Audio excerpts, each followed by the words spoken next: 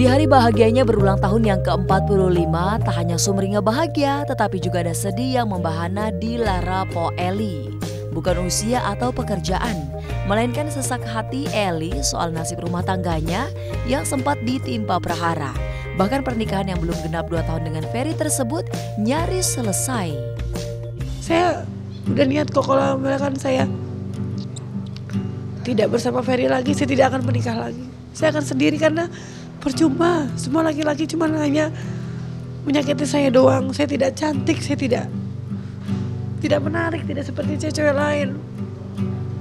Saya udah berjanji dan saya ingat nasihat teman saya. Andai saya sampai berpisah sama Ferry, saya akan hidup sendiri. Saya tidak akan menikah lagi. Itu janji saya. Saya akan besarkan anak-anak saya. Saya akan uh, berjuang buat anak-anak saya sampai anak-anak saya bekerja nanti gitu aja. Udah, saya tidak. Udahlah, laki-laki cuma nyakitin saya doang. Tidak ada yang baik sama saya, tidak ada yang kasihan sama saya.